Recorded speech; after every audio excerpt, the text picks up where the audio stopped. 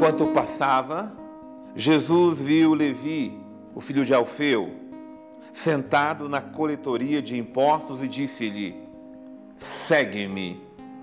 Levi se levantou e o seguiu.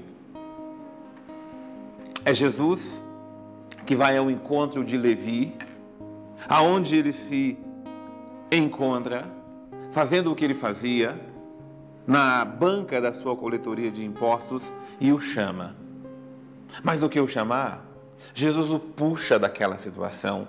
Jesus o faz levantar daquilo que ele fazia, por mais que fosse o seu trabalho, mas ali ele exercia a desonestidade, ali ele era injusto, ali ele pecava. E Jesus o chamou. Não, não o acusou, não jogou na cara dele que ele era desonesto, o tirou daquela situação. É assim que Jesus faz conosco. Ele quer nos tirar de toda e qualquer situação de pecado que nós estejamos vivendo na vida.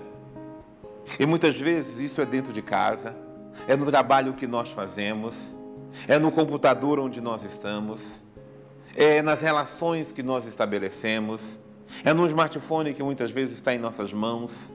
Jesus quer nos tirar, Jesus quer nos libertar, porque aquilo está nos acorrentando, nos prendendo.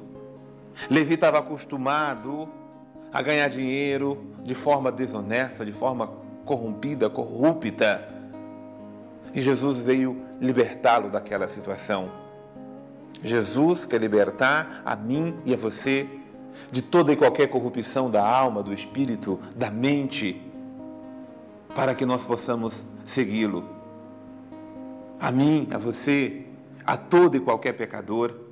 Jesus senta-se à mesa com eles, com cobradores de impostos, com pecadores, todos se assentam à mesa com Jesus.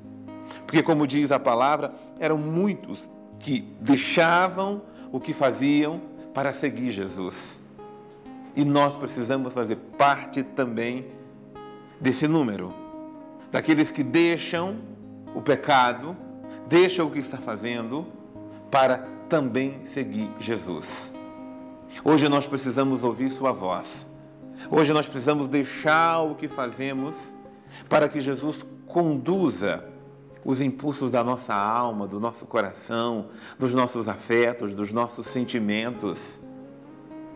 Porque ele mesmo está dizendo que não são os sadios que precisam de médico, somos nós, doentes na alma, no espírito, no coração, na vontade, que precisamos do médico Jesus. Somos nós que precisamos ouvir Sua voz. Às vezes, dentro de nós, nós estamos com uma vontade terrível de fazer o mal, desejar o mal. Às vezes, dentro de nós tem uma voz do ressentimento, da ira, do rancor, da sensualidade, da maldade, gritando em nós. Deixe que a voz de Jesus ressoe em nossa alma e Ele nos levante de toda e qualquer situação que estejamos vivendo para seguir Sua voz, para seguir seus passos. Deixemos ser curados por Jesus. Deus abençoe você.